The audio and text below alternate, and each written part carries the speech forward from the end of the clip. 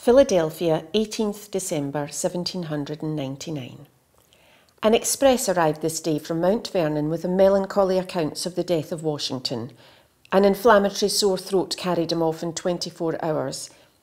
He had complained some days of a cold, rose on Friday morning the 13th, but becoming worse returned to bed. And although every assistance was immediately called, he died betwixt Saturday and Sunday at the age of 67 perfectly sensible and resigned. At no time could the death of Washington have been matter of indifference to the people of America, but at this moment, when a rupture with France is apprehended, it is critical and unfortunate. He was appointed Commander in Chief of the Army by President Adams and with much difficulty was prevailed upon to accept on condition of choosing his general officers and the magic attached to his name, a magic greater perhaps than can ever be attached to any other in this country, was deemed necessary to keep the parties united.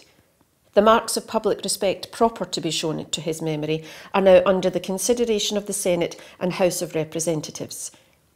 Mr. Liston and I greatly esteemed and admired the man and felt grateful for his uniform attention and kindness to us and it is with satisfaction we reflect on having visited him so lately and parted from him so affectionately.